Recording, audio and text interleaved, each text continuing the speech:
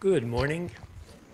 I'm David Adams uh, from the Board of Trustees of the Monte Vista UU congregation, uh, welcoming everyone who's here in the sanctuary and joining us um, virtually.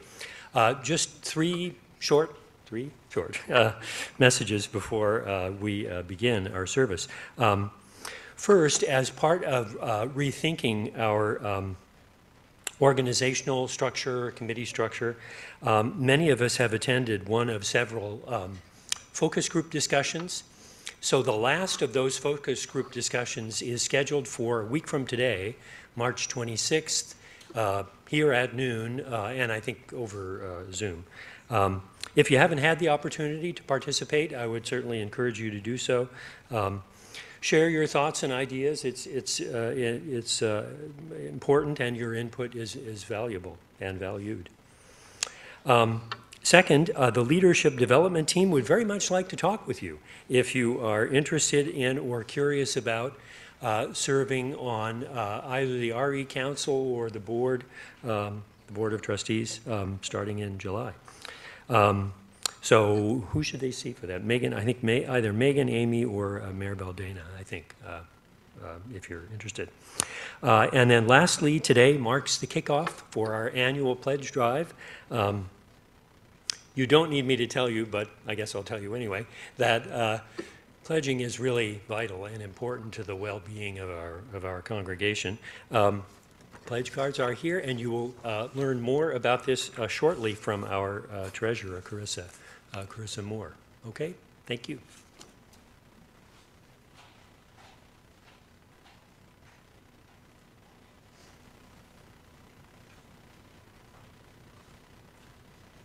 Good morning and welcome to everyone.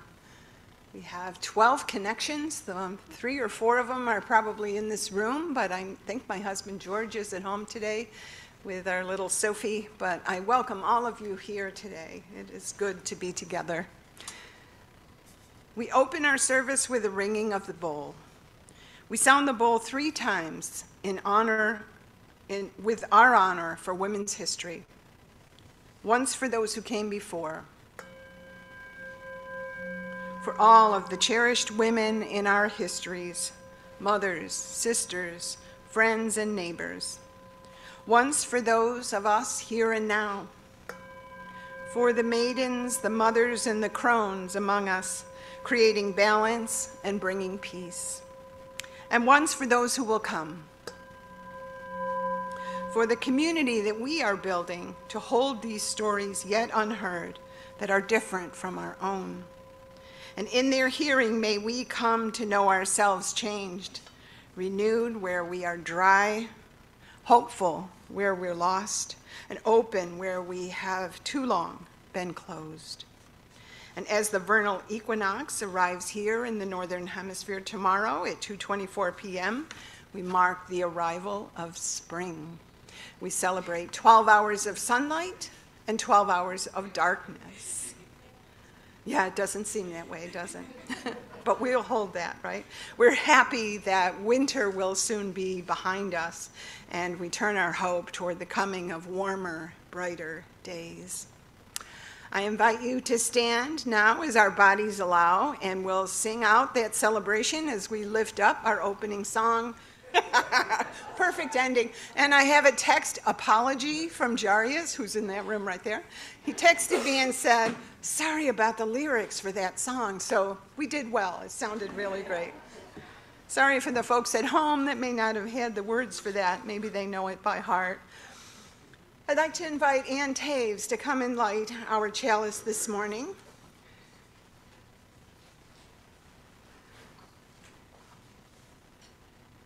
And we light our chalice with these words that are inspired by Sarah Lammert. The element of fire represents passion, authenticity, and vitality.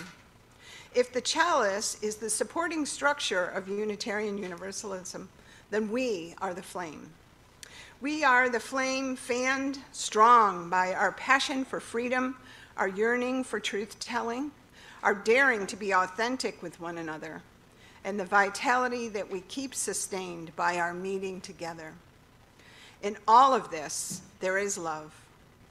May the lighting of this flame shine the light of our belonging to this community of love and justice on this morning and every morning. I invite you now to uh, look in your order of service, and maybe Jaryus will have this slide prepared. It's um, a new, co- not a new covenant, but a new wording of the covenant that we have been reading every week. It's a combination of two that are both very meaningful for everyone. So I hope you'll follow along with these words. Jaryus has got them up there. That's not the right one, Jaryus. we have a new one. It's similar, but can you take that down, Jaryus, so no one is confused by that? Read the one in here with me, extra loud for the folks on Zoom. We affirm that love is the greatest purpose of this congregation. The search for truth is our constant star, and service is our prayer. We pledge our hearts, minds, and hands to challenge injustice with courage, to find hope in times of fear, and to live out our Unitarian Universalist values every day as beloved community. Thus do we covenant with each other and all that is sacred in life. And now we sing together our weekly invocational hymn, Spirit of Life. I invite you to stand as, you, as you're comfortable.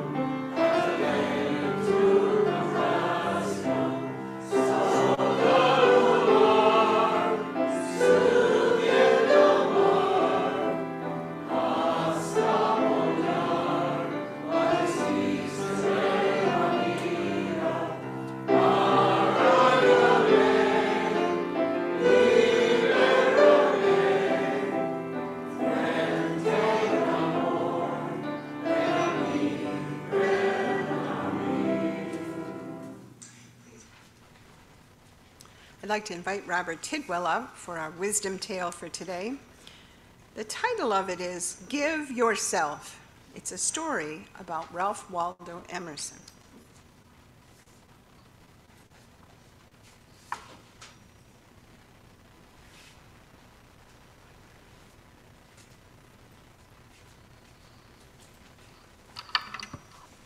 Good morning, everybody. What do you want for your birthday? The father asked his daughter. Do you want a doll? She wrinkled her nose and scrunched her eyes and thought, No. A tea set? A pony? No, father, I have a year to think. I want this year to be a special year, one to remember. All right, you think and let me know. Ellen thought. She thought of uh, bonbons and chocolates, new dresses, hats, kid boots, books, gloves, and lace collars, but none of these things were things that she wanted. What would be special? Each day her father asked her, Ellen, do you want do you know what you want for your birthday yet? And Ellen would shake her head, No, father, I'm still thinking. One day her father said, Ellen, are you finished thinking yet? Ellen said, Yes, father, I've decided. I have a riddle. It will tell you what gift I want for my birthday. The riddle is this You cannot buy it, for it is worth all the money you have, but only you can give it. Hmm, father said. I need to repeat this riddle because it will tell me what gift you want for your birthday. I cannot buy it because it is worth all the money I have, but only I can give it. Is that right? Yes, father. Well, now it is my turn to think about your riddle. I have to find the perfect present in the mystery. Her father paced and pondered.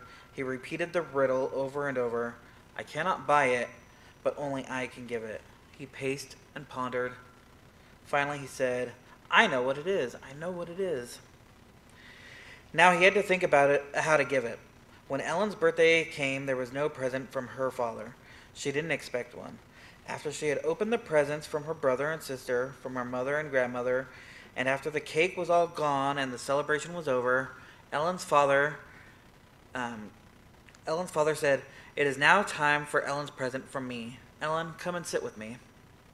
So Ellen climbed into the armchair and sat on her father's lap. My present to you is very special. I hope it is what you wanted, for it is not a book or a toy or clothes, but instead it is a present that is for all seasons and for each day. This year, your present from me is that we will spend time together every week, just the two of us. For you are my very special daughter, and I love you dearly. Ellen hugged him. Oh, father, I knew you would figure out the riddle. Her father said, You cannot buy it, for it is worth all the money that you have, but only you can give it. It took me a long time to figure out the answer, but when I did, I knew what gift you wanted. The answer was simple give yourself. Oh, yes, that is it. Time together with you will make this year the very best year of my life. Ellen looked at her, fa- looked her father in the eyes and asked, Oh, father, are you crying? Yes, you teach me more than any book I've ever read or written. By giving you time, I will gain more than I give. Now it is Ellen's turn to figure out this riddle. She wondered how could her father, by spending time with her, get more than he gave. She thought she understood because she knew love multiplies, but perhaps she would only understand when she was older, when she had children of her own. But her father understood, and when Emerson wrote an essay on giving, he wrote, Give yourself, for he knew the wonder of this gift. And now, if the children present can come up and get the chalice, you guys can sing us to our class. And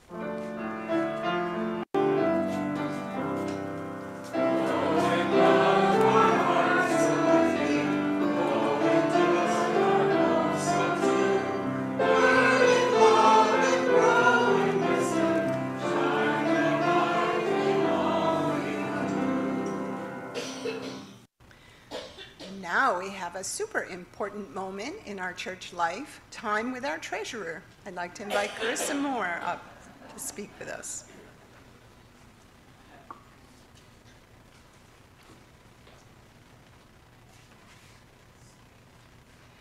Good morning, everyone. Good morning. So, welcome to the 2023 Pledge Drive kickoff. Next slide, please. So, little background where our money goes. I feel like I'm too close to this microphone. Um, goes to maintenance, goes to utilities, which, as we all know, have all increased this year. General and administrative expenses, the UUA Annual Program Fund, worship and music, so it pays for all of our um, guest speakers, uh, the music that our choir sings, pays for Lily. it, pays for RE, which we all enjoy.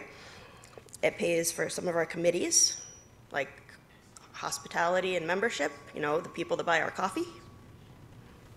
We like that. Pays for social justice to send the boxes to our Calapian partnership every year. It pays for our staff, the wonderful people that keep our office running. And it pays for our wonderful minister. On the anniversary of, of her of her very very wonderful installation. We are so very happy to have her here.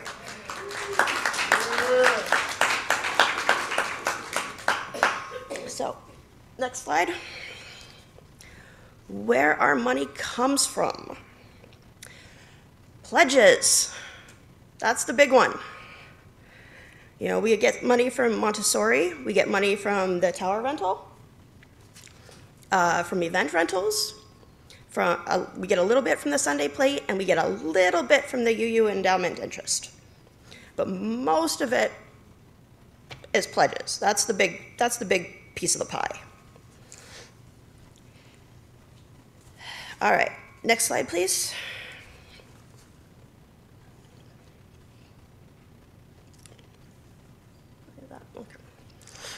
So, with that, we are kicking off our 2023 pledge drive with the slogan Rocking MVUUC with Strength, Support, and Sustainability. Now, the dates to remember we start today, March 19th, and we go through April 30th. And the Pledge Committee has a lot of fun and creative activities planned for y'all. So hopefully, y'all will take part in those. And we have mascots. We have mascots.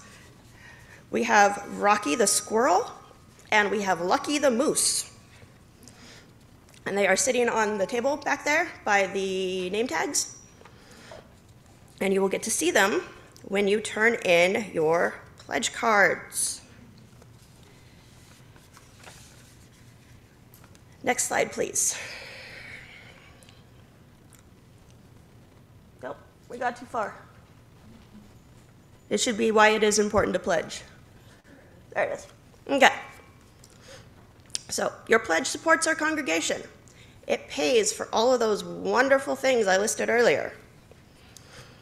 Your pledge card also helps keep your membership current. So, when you joined, you had to sign the book, take the class, fill out the pledge card. In order to keep that membership current, you got to fill out that pledge card every year. That's what allows you to vote in the congregational meetings. That's what allows you to hold committee assignments and Board of Trustee assignments. So that's very, very important. And if over 50% of our income comes from our pledges, we pay less in property taxes, which is always important. All right, next slide. Okay. So, where can you, I get a pledge card? You can get one in the sanctuary. Maribel and Kay are coming around right now and passing out these lovely green forms that are our current pledge card and membership renewal forms. So you can fill them out today and turn them in, and then you're done.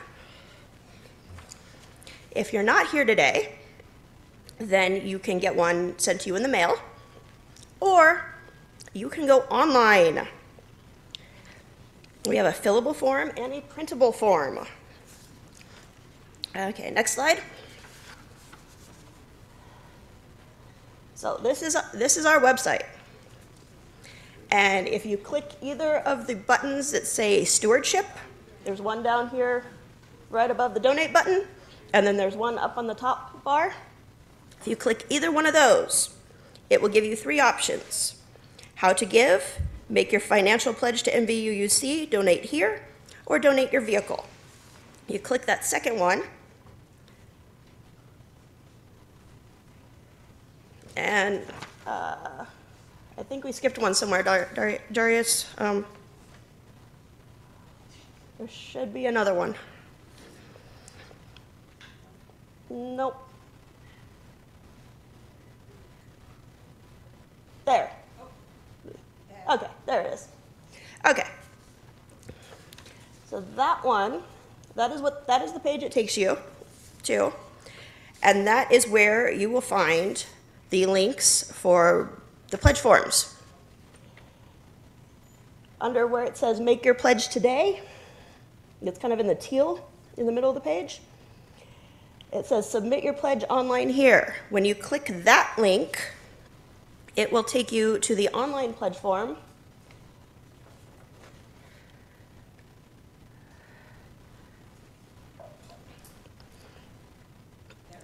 There it is.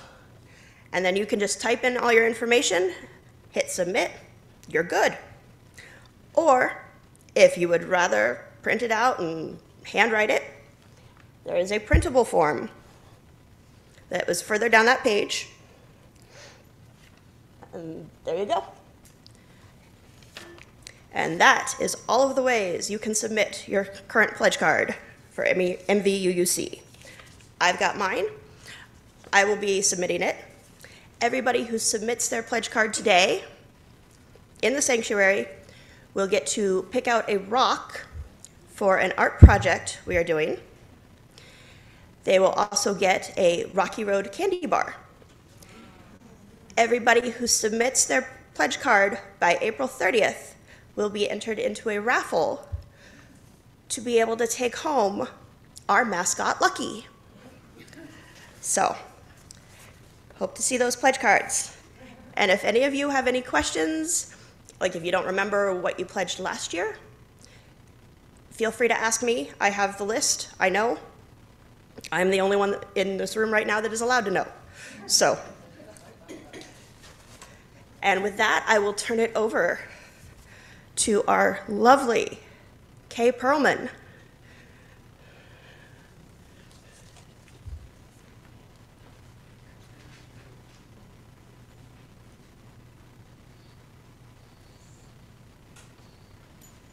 Good morning.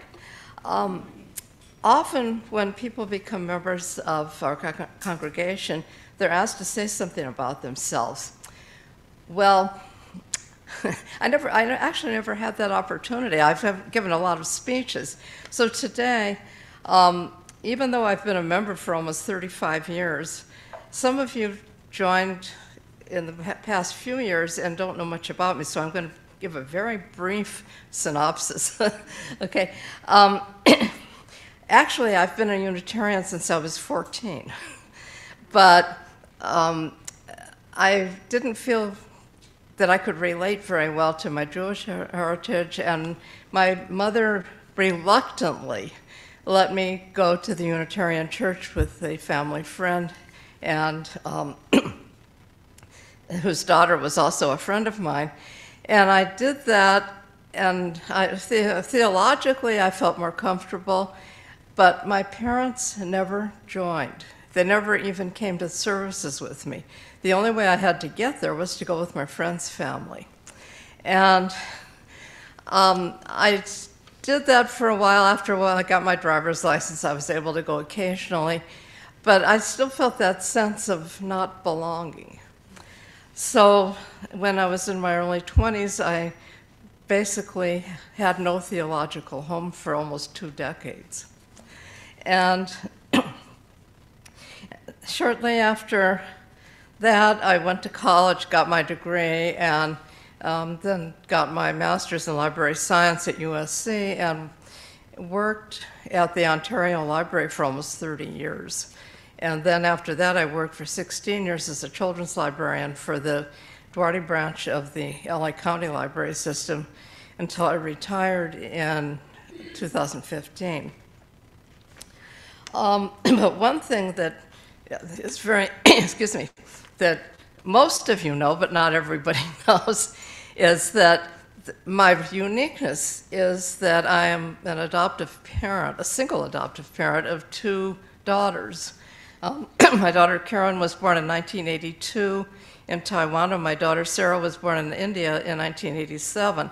And I got them both when they were infants. Um, for the first several years, I didn't really have any religious education um, for them. I, I thought about it a lot, never did anything, until surprisingly, my mother joined the Unitarian Church here.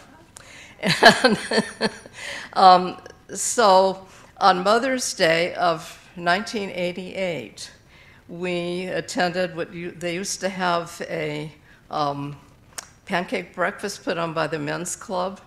And we attended that, and I remember that all the mothers in the congregation were given flowers. And I was very touched by that. Our minister then was our esteemed Ellen Livingston, who my mother took a great liking to. And she also um, ta- was telling me how wonderful the children's RE program was. by that time, my daughter Karen was already six, and so she was able to take advantage of that. Sarah was just a baby; she wasn't even a year old, so it took a while before she could do that. But anyway, um, and so that was the start of my journey here at the Unitarian Universalist Church. By the end of 19, by the, well, within a year, I had already become a member, and both of my children were dedicated to the church. So during my daughter's childhood and through their high school years, which was about 1989 to 2005, I enjoyed being actively involved in all kinds of RE activities. I taught numerous classes for various age levels and collected lots of T-shirts. they used to give the teachers uh, Unitarian Universalist T-shirts as a, a, small gift for teaching the classes. Um, I was on the RE Council, and I also uh, served a two-year term as chair. I chaperoned several field trips, participating in numerous picnics, Christmas, Halloween, Valentine's Day, Secret Palace, coming of age, and lots of other family activities, as well as occasionally attending a few adult events when I could.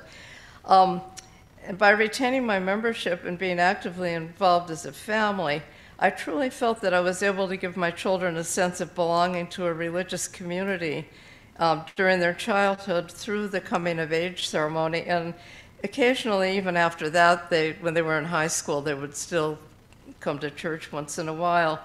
But like so often, um, many of you probably have gone through this yourselves. Once they get out of high school, they don't want to be religious at all and belong to any religious community. And my children were the same way, but um, if I'd ask them to come to a certain event, they they have been doing that. Well, Sarah lives in Washington now, so not very often, but Karen has come a few times. Well, in 2005, Sarah graduated from high school, and at the same time, Ellen retired. And so, and with our congregation then had a couple of interim ministers. And during that time, I kept my pledge up, but I kind of took a break from coming to church um, for, well, I had, for various reasons. And at one time, I actually decided that I should be a friend instead of a member. And I never heard the end of it. Somebody on the, uh, I forgot who it was, was teasing me about that. So I went back to being a member for, after that. Okay. Um, then when Ann Terence came, I believe it was in 2007, I made a partial comeback. I wasn't able to come to the Sunday morning services very often because I had made a commitment to a friend. I was helping her get her master's degree and helping her with things that she wasn't able to do herself. So, um, but I did come to a lot of the other activities afterwards. Well, then when I retired, in 2015, one of the first things I did was to become an active member again um, of MVUUC. And it gave me an opportunity to socialize with like minded people on a regular basis. But this time I was no longer focused on RE, but on adult activities, especially for those um, aimed at seniors or including seniors. Not only did I again begin attending church more regularly, I made a point to become involved in some of the activities that I yearned for, but found it difficult to attend when my children were young. One of those things was our annual congregational week spent at de Benneville Pines, which I had never gone to. I went once. and I was able to get to know some of our congregants and then the fresh mountain spring air, and not to be, mention the various activities that were offered. Um, and of course, I took a lot of pictures. Some of you know me only for taking pictures. So, anyway, um, I also participated in several of the small group dinners, which were hosted by various congregants in their homes. And I was very sad when the interest kind of died um, for doing that, and we haven't done it for several years now. Um, I also attended several annual dinners and goods and services auctions, as well as some of the trips that were auctioned off. And I enjoyed the auction so much that in 2018 I asked to be part of the auction committee. And as such, I was able to get donations from over 25 local businesses, earning a significant amount of money for our congregation. Not long after the last auction, I was able to help earn money for Lily's beautiful piano uh, by donating, a, donating an iPad at, and um, as an auction, I mean, as a raffle item. And the tickets were $5 each, and many congregants um, took advantage of that. And, you know, we earned money that way too.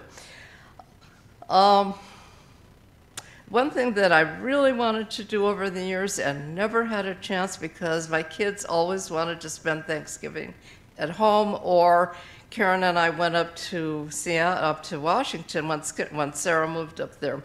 Well, in 2018 and 19, my girls were both in Washington, and so I finally was able to enjoy the Thanksgiving dinner with the congregation. This year, I stayed home again. but anyway, um, but then COVID hit and everything changed. About a year ago, while I was looking for pictures of congregational events over the years, um, both for MVUUC's 70th birthday party and for my own 80th birthday party, I ran across a church membership directory from 1987. How many of you were around at that time? You were. Yeah, you were. Okay, a couple people. All right. um, which was the most current, uh, the most current directory at that time. and not only did I enjoy looking through it to see if I recognized anybody, but it reminded me that I have been a member of MVUUC for nearly half of its 70-year existence. That seemed especially fitting that this year I was asked to co-chair the annual pledge drive, and when Reverend Maggie mentioned having someone speak about the value of being a pledging member, I eagerly volunteered. After 35 years, I definitely had a lot to say.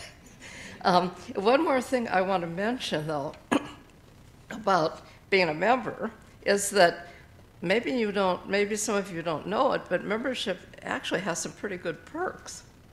And um, I was able to take advantage of one of my favorite perks is that um, as a member, if um, we can occasionally, on certain occasions, use the sanctuary for our personal things um, for very little cost to ourselves. And I was able to host two of my own birthday parties when I turned 50 and then last year when I turned 80. Um, I was able to have a really nice party. Some of you attended my 80th birthday party. And by the way, I also brought a book that was made from the timeline. Um, and my neighbor updated it for me, and gave it to me for Christmas, and there are some pictures of the party in there too, so I brought it if anybody wanted to look at it. Um, so there are a lot of advantages to being a member, um, aside from just you know, the ones, the, the monetary ones. Oh, um, you know, they, you can also do things that you wouldn't be able to do if you weren't a member. The other thing that I also, that I was able to do as a member was when my mother passed away, and we had her memorial here, and um, the cost was negligible, you know, to have to use the sanctuary, and then Ellen and Reverend Trance, who was our minister at that time, um, did the service just for a, a, very small fee. So, you know, that's something to keep in mind. Okay. Thank you, Kay.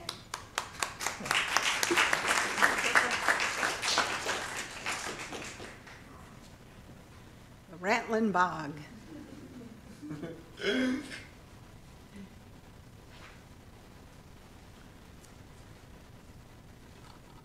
Preparing an offering message on the opening day of our pledge drive for next year's financial sustainability was a challenge. It's always a bit of a risk to talk about finances too often, yet it's also irresponsible to ignore the importance of understanding how essential our pledges and offerings are to the well being of our congregation. Our pledges of financial commitment ensure that we continue to tend to the spiritual development of our community and to strengthen our capacities to share our values of love, compassion, and justice in the wider community. We're just over three fourths of the way through this year, a year that will long be remembered as one of recovery and discovery. Recovery from pandemic lockdown, the plague that we've named COVID 19, and discovery of the things that matter most. We are discovering things about ourselves and things about our campus, things that have been there but perhaps under the surface, but coming forward to grab our full attention now as we continue to find a healthier future. Our mystical side reminds us that our money is energy, and the ways that we dedicate our finances and direct those energies says much about the integrity of our intentions. By taking time to gather our offering, we are embracing a ritual that says our giving is an essential part of our fiscal and spiritual well being. If your offering today is dedicated to your pledge for the current year or to the support of our partner church or one of our other ministries, please be certain to state that in the memo section of your check or ask for one of these envelopes at the greeter's station and write on there what it's dedicated to. And while we listen to Lily's beautiful offertory, I invite those in the sanctuary to please come forward now and leave your financial gifts to the congregation and your non-perishable gifts for the Beta Center at the Inland Valley Hope Partners to our altar. It is with deep gratitude for the many, many gifts of this community that the offering will now be given and received.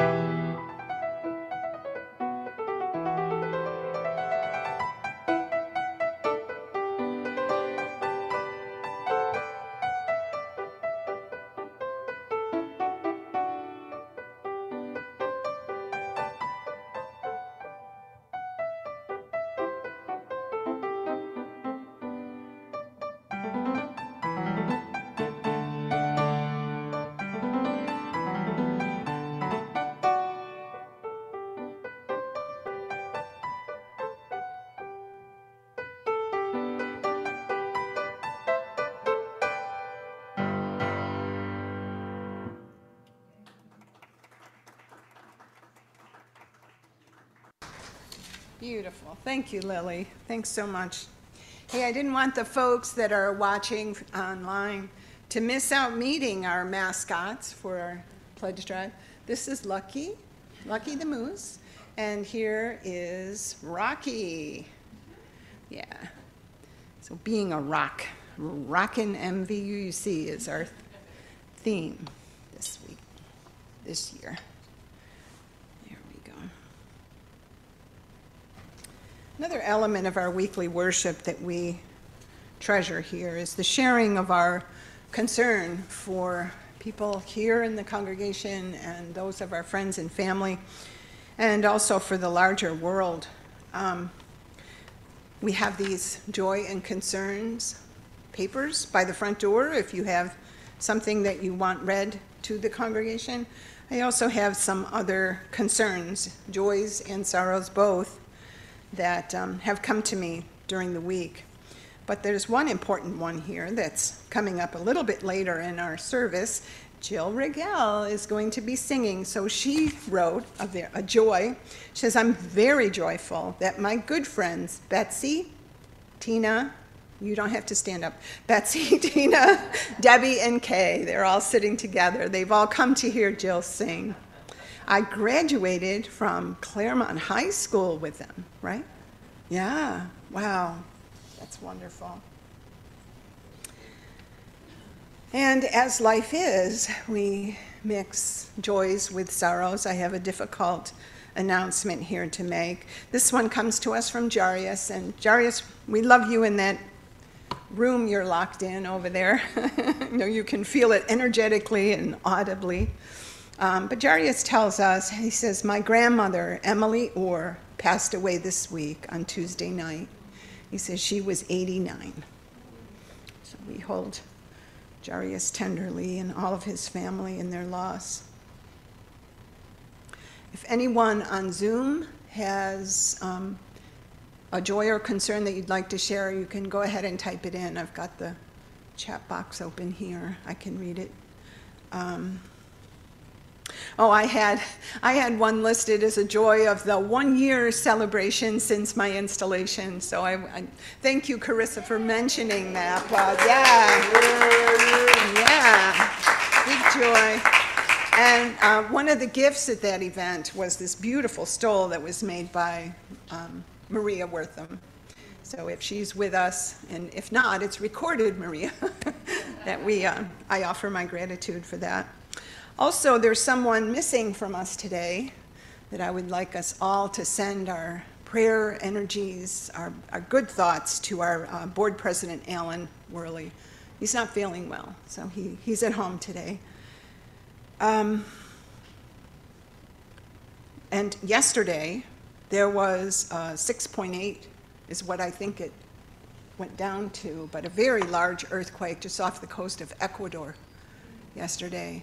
So we hold those people there um, closely. I have family that's there. Actually, my, my nephew's parents were both born there. So they have a lot of family that they're very concerned about. They're all, they're all doing okay, but terrified because of all the aftershocks. That's a, that's a big quake, as we all know here. And speaking of that loss, I'd just like the congregation to keep in mind the folks that are um, joining in on the grief group.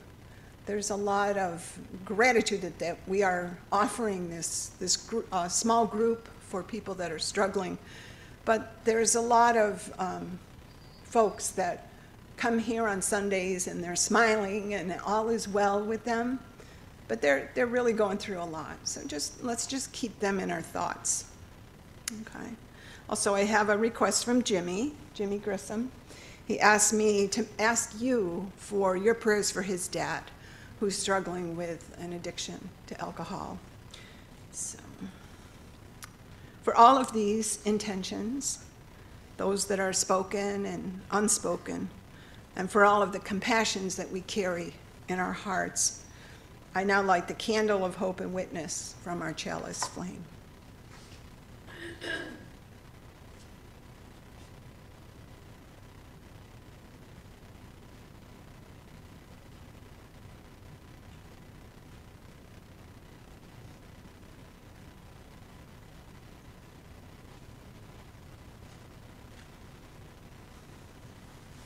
And I invite you to join me in this time of prayerful meditation.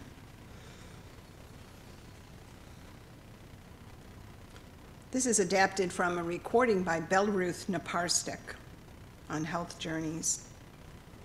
See if you can listen to each of her affirmation and maybe repeat it to yourself, either aloud or silently, and breathe it into yourselves. Just sit comfortable. I declare my intention that all beings will continue to heal and be whole. More and more, I understand that this is happening and will continue to happen in time. I invite assistance from friends and loved ones, seen and unseen, to lend me their support, energy, and strength. More and more, I can acknowledge the times that my feelings have troubled me, and without criticism or blame, I sense and accept my feelings. I feel them soften, and I breathe through them. I am better able to change my thoughts toward being kind and gentle to myself first and then others. I can see myself becoming more patient. I am continuing to change and becoming more and more like the person I wish to be. More and more, I realize that I am learning to listen to my body and my spirit and to sense what they need. I sense my body as an old friend and I appreciate it, respect it, and take good care of it. I can see and feel radiant sunlight warming my body, sending comfort and solace deep into my heart. I can see and feel a powerful blue green wave of healing washing over me, removing unwanted debris and taking it out with the tide. I can see and feel a magical blanket of peace and healing surrounding me and comforting me. And more and more, I can perceive an invisible assistance that is available to guide me back to my own sense of truth, courage, wisdom, and resourcefulness. I understand that there are treasures to be discovered in the things that have troubled me. I know well that part of me that can never be diminished or destroyed. More and more, I know that I can take time to touch a leaf, breathe in the morning air, and feel the caress of the ocean breeze on my face. I see that my loving kindness, my mercy, is healing for myself and others. I know that I have things to do, changes to make, gifts to give, and purposes to accomplish. I know that I have all that is needed to do this, and I declare my intention to heal in body, mind, and spirit. And we pray all these things for all beings. May it be so. Amen. And blessed be. Please join me while you're seated and resting. We'll sing together from our teal hymnal, number 1031, Filled with Loving Kindness.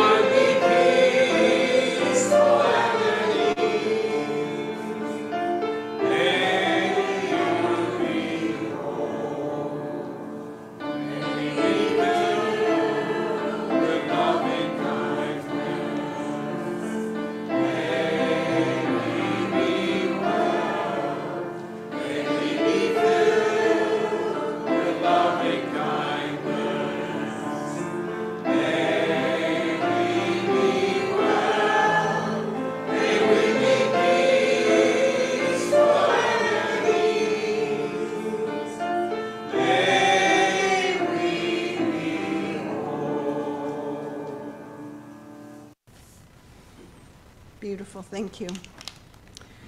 Our reading today comes from Mary Oliver. This is a collection of her poems, a book called Devotions that was given to me at my installation. The poem is entitled, Do Stones Feel? Do stones feel? Do they love their life? Or does their patience drown out everything else? When I walk on the beach, I gather a few white ones, dark ones, the multiple colors. Don't worry, I say, I'll bring you back. And I do. Is the tree, as it rises, delighted with its many branches, each one like a poem?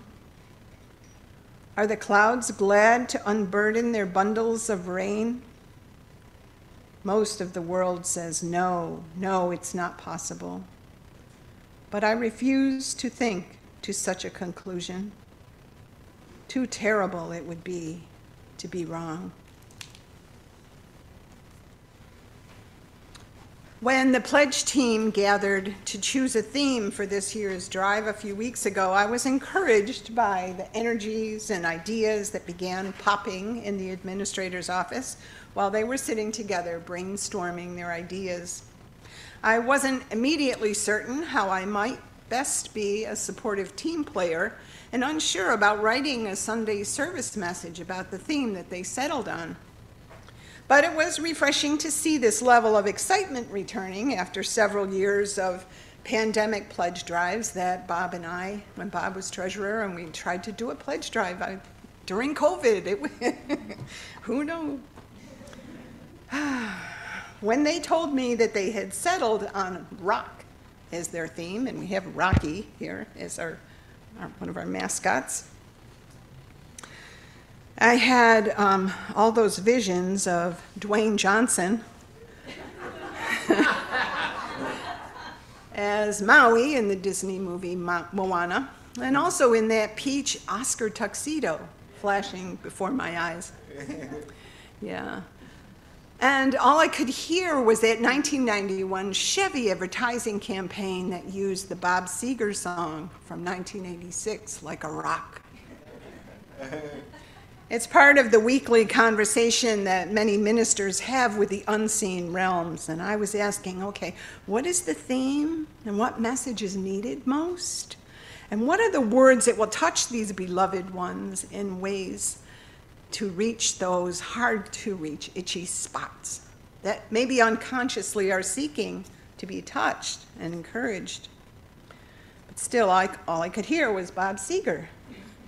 So, okay, I'll look at the lyrics. like a rock, I was strong as I could be, like a rock. Nothing ever got to me, like a rock. I was something to see, like a rock. And I stood arrow straight, unencumbered by the weight of all these hustlers and their schemes, like a rock. I stood proud, I stood tall, high above it all. I still believed in all my dreams like a rock. Yeah, that's us. So, with the new electric powered Chevy truck in my vision, and without Bob Seger's permission, I wrote a new verse for us. Like a rock, we've got purpose, plan, and pledge. Like a rock, we can soar from Baldy's edge like a rock, because our future is cutting edge like a rock. Today we look at our purpose, plan, and pledge and stand a bit stronger. First, our purpose. While we begin to work together with our leadership development team to reorganize our congregation, in order to blossom to the best identity that we can for today's ever changing world. We hold and share the vision of our future as purposeful, sustainable, viable, and valuable to the enhancement of our lives and the lives of those who will choose to join us by making our congregation their spiritual home. in the future. Just as the Article 2 of the UUA's bylaws describe the principles and purposes of our Unitarian Universalist Association of Congregations, Article 2 of our congregational bylaws tell us that the purpose of this congregation shall be to cultivate the ideals of liberal religion, to nurture those ideals in our own neighborhood, and to encourage their growth in the larger world. Monte Vista Unitarian Universalist Congregation affirms the principles and purposes of Unitarian Universalism as adopted by the UUA.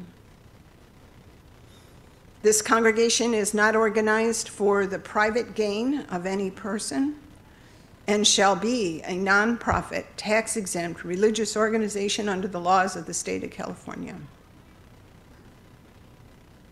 We are Unitarian Universalists, a congregation of thinkers and doers from many faiths who each bring our individual gifts to enliven and support this community in order to maintain a thriving presence of Unitarian Universalism in this three county foothill region of Southern California. Our purpose is to grow intellectually and spiritually as individuals and community as we look forward to living in our living out our collective hopes and dreams. What we'll be doing with the guidance of leadership development is to put together our plan that we all have ownership of, or how best we can do that. Second is that plan. In order to begin to create our plan, we hope to hear everyone's voice. There's one more focus group, as David told us about, being added to the schedule in order to ensure that everyone has had an opportunity to contribute and enhance the outcome of these listening circles that we've been holding. Our last scheduled focus group will be held next week after service, it'll be open for those to join online, here in the sanctuary, in person. These focus groups have already brought out some really encouraging information that'll be combined with the voices of this final group and then shared with the congregation at a meeting in April. Hearing the hearts of each and every member is essential to the formation of the plan that we will co create to reform our congregation in a more sustainable format that will allow a team approach to our governance and our visioning of the future. Everyone is invited to participate in this final group, even if you've attended one of the others. Sometimes our best ideas are formulated after we've thought more on things. So please come back if you choose to do that. Planning for our future is an ongoing and essential step to ensure that we're keeping up with and ahead of the changes that are like a tsunami that are roaring toward most churches and spiritual communities in the world today. And how fortunate is it that we have the leadership that we do, that is courageously looking ahead and taking seriously our need to always be alert to changes and transformations that are necessary in a world where troubles come uninvited and often snowball without being provoked. Our plan for revision and restructuring is a timely and preemptive step toward our best future, coming at a time when the leadership of our association is in the midst of very similar realignment. But working on this plan together may be one of the most important tasks that we will complete this decade. We can stand confident that we're in tune with what we most need to accomplish and we can stand knowing that we heeded the warnings of both Ben Franklin and Winston Churchill, who say that those who fail to plan are planning to fail. But thirdly, our pledge to make the plans that we'll co create come alive, we will rely on the generous support of our members and friends. Pledges of all sizes are needed to help us plan for our programs, our ministries, our small groups, our activities in the facility care to serve this congregation and also help us as we pledge to serve our community. We're all invited to make a financial pledge that you're comfortable with, stretched by that will. Oh, forgive me, let me reread that. We're all invited to make a financial pledge that you are comfortably stretched by. That's what I wanted to say. Yeah, let me say that again. We're all invited to submit our annual pledge and membership renewal in an amount that you're comfortably stretched by. So we do ask for a little stretch in there. But that will strengthen and support our budget for the upcoming fiscal year. I close with this blessing from John O'Donohue. May the nourishment of the earth be yours. May the clarity of light be yours. May the protection of the ancestors be yours. And so, may a slow wind work these words of love around you like an invisible cloak to mind your life. May it be so. Blessed be and amen.